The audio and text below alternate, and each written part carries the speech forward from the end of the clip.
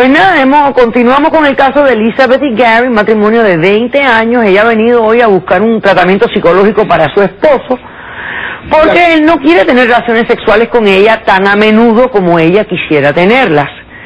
Luego hemos descubierto que Gary está teniendo una relación con el melón, que ella le, él le pone Melanie.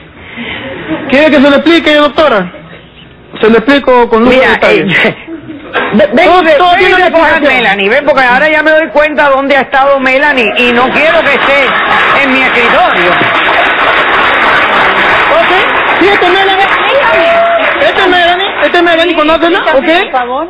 Ella es mi chica, mi, mi enamorada, mi novia. enfermo. No, no soy un enfermo, porque ella me hace cosas a mí que tú nunca Eres me degenerado. ¿Ok? No soy degenerado, la degenerada es tú, porque tú Eres nunca me das. Mira, yo te voy a con mi fruta.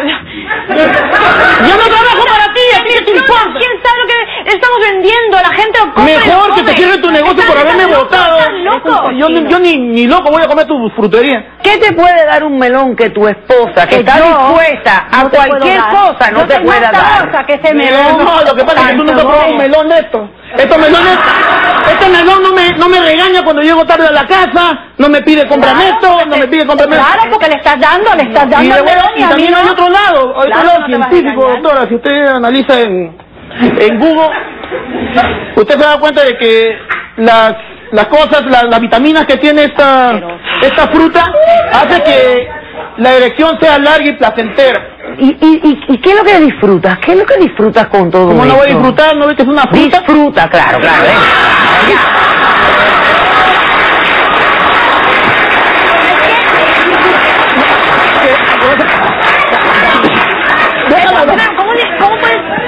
Dame. déjala la fruta. Dámelo. Déjala ahí, déjala ahí, déjala ahí. ¿Qué vas a hacer? Elizabeth, no le destruyas a, a Melanie, porque me parece que la, entre Melanie y tú vas a perder tú. Pasemos a la doctora Vivian González.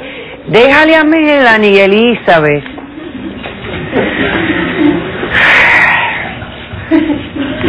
Dilo tú. Pero yo no sé qué tiene en la cabeza esta mujer, porque eh, se, se va a ponerse dos en una fruta.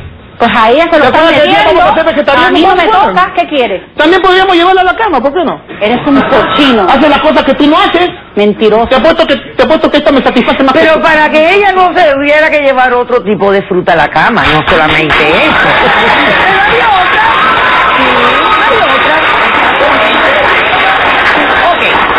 De ahora en adelante voy a, me- a mirar el melón de, otro, de otra perspectiva. De ahora en adelante, ¿verdad? Qué Ok. Doctora, esto es raro, porque este matrimonio se puede salvar. De hecho, él no le ha sido infiel a su esposa. O sea, no le ha sido infiel con otra persona Sí. de carne y hueso. No nos tenemos que preocupar de enfermedades venéreas ni de miles de otras cosas. Porque él básicamente está enamorado de su melón. Es mi enamorada, le dijo a la esposa. Ha desarrollado, digamos que una parafilia, ¿no? Sí, ¿Cómo ¿cómo le pudiéramos llamar? Una parafruta. No sé. no sé. Eh, una de las teorías del aprendizaje dice que en realidad eh, este tipo de individuos eh, lo aprendió porque hizo una asociación con un objeto y lo asoció con, una, con la sexualidad y fue reforzado a través de las de la imaginación y de la masturbación. Ahora bien, ¿y por qué no le cuentan a su esposa? Porque, por ejemplo, 20 años, de, ¿qué tipo de comunicación tiene esta, esta pareja? Que él no le puede decir, ¿sabes qué? He desarrollado una atracción física, morbosa. ¿Por qué no le cuenta su fantasía a la esposa? Bueno, por miedo a ser rechazado o porque lo miren con una perspectiva de que tú eres muy, muy raro. Acuérdese que las parafilias en realidad van cambiando a través de los tiempos. Mm. En un momento dado, inclusive la masturbación y la homosexualidad fue considerada una parafilia. Claro. O sea que eh, en realidad tiene que ver mucho con la sociedad. Con Y la de definición que le damos. Eh, pero lo más interesante aquí es... este tipo de individuos eh, lo aprendió porque hizo una asociación con un objeto y lo asoció con, una, con la sexualidad y fue reforzado a través de, las, de la imaginación y de la masturbación. Ahora bien, ¿y por qué no le cuentan a su esposa? Porque, por ejemplo, 20 años, ¿qué tipo de comunicación tiene esta, esta pareja? Que él no le puede decir, ¿sabes qué? he desarrollado una física, morbosa, ¿por qué no le cuenta su fantasía de esposa? Bueno, por miedo a ser rechazado o porque lo viene en una perspectiva de que tú eres muy, muy raro. Acuérdate que las parafilias en realidad van cambiando a través de los tiempos. En un momento dado, inclusive la masturbación y la homosexualidad se consideran una parafilia. O sea que eh, en realidad tiene que ver mucho con la sociedad y la este para resolver ese, ese problema. Okay. Elizabeth, escúchalo. Pero también se te pone se debe una fruta, también me pongo se te pide un plátano, una vaina así. Quizá, pero yo no estoy tan enferma como No, tú para que llevar vamos un a- plátano, vamos a- Natalia. Ya debiera de tratarlo, eso quizá le despierte el apetito a este señor, porque ya vemos que él es andillo de comida, le encanta cualquier cosa de comida. Escucha lo que te voy a decir, Elisa. Yo no pienso que un tratamiento psicológico va a salvar a tu matrimonio. Lo que pudiera salvar a tu matrimonio es que ustedes abran su mente, digan, no nos vamos a jugar, lo que tú sientas y tú tengas ganas, yo quiero saberlo, porque quiero, quiero estar ahí contigo, quiero formar parte de tus fantasías, por locas que sean, y yo de las tuyas, mi vida, y tiene que haber ese, ese- esa conexión. Si no existe esa conexión, pero, ¿verdad que no hay tratamiento psicológico que salve aquí?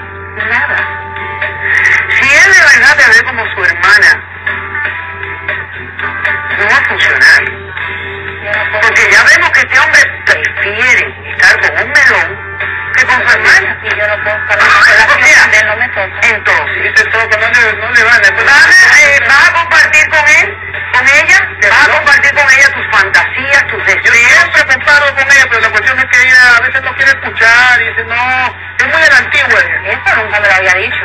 Eso se vino a saber ahora. Imagínate, Si él tiene atracción por tu, por tu esposa, Por supuesto que no va a sentir atracción por ella. mentiroso, yo ¿la ves como hermana o no la ves como Sí, la veo como una hermana, pero o sea, también ella quiere todos los días que me hizo tocar el robot, también que son las tres.